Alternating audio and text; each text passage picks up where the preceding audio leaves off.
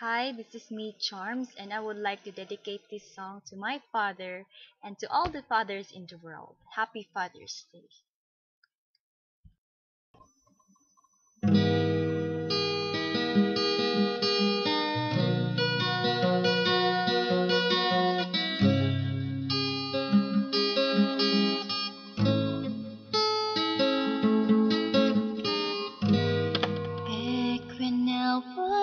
相爱。